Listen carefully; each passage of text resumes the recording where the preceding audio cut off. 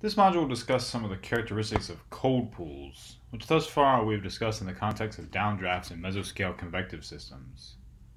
Cold pools are one mechanism for forced low-level convergence that can support the vertical growth of convection in the tropics.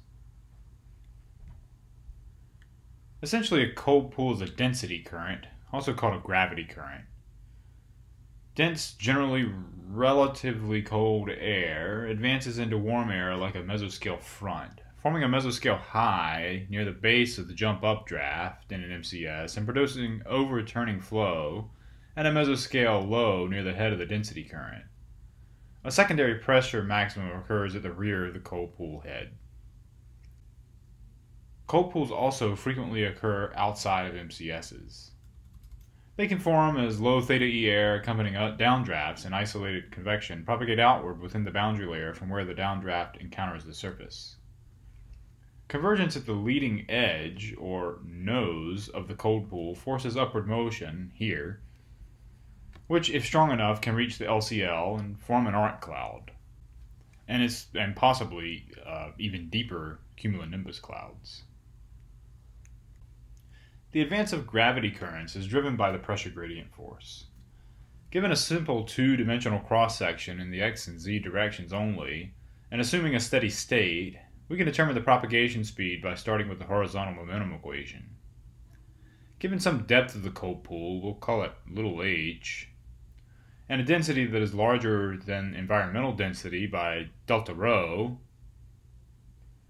the forward propagation speed of the gravity current is related to the phase speed of a gravity wave modified by the density difference.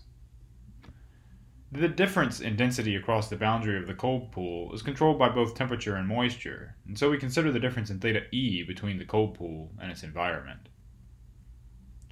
A large difference in density or cold or relatively dry current will propagate more quickly into the environmental air.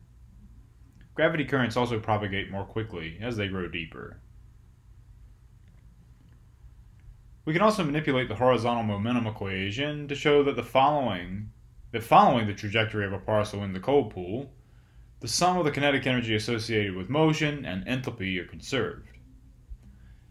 If we integrate along x, this equation, to some distance well ahead of the cold pool where the ambient flow is toward the cold pool at velocity capital U, and, and from a point immediately ahead of the gust front, we find that the pressure perturbation results from conversion of kinetic energy to enthalpy.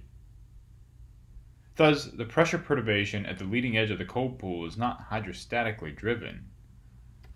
Furthermore, the meso low at the top of the head is also non-hydrostatic, and while not shown here, is related to rotation at the top of the cold pool head. The meso high at the rear of the head is hydrostatically induced, meaning that it is related to the column integrated mass at that location and above.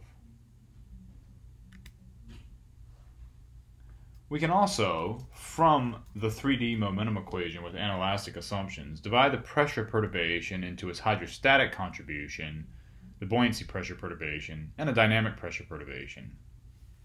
The total pressure perturbation is the sum of the two and is seen in the plot at the top.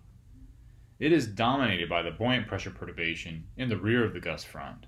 However, right at and just in front of the gust front, the dynamic pressure perturbation dominates, as discussed on the previous slide. Numerous cold pools can coexist in the same environment, and their collision enhances convergence and promotes deep convection. On the left is an example of a rainfall-induced cold pool. Low theta E air descends and spreads out through the boundary layer. Shallow convection forms at the edge of the cold pool, where high theta E environmental air is forced over the head of the advancing gravity currents. The image at right illustrates two intersecting cold pools.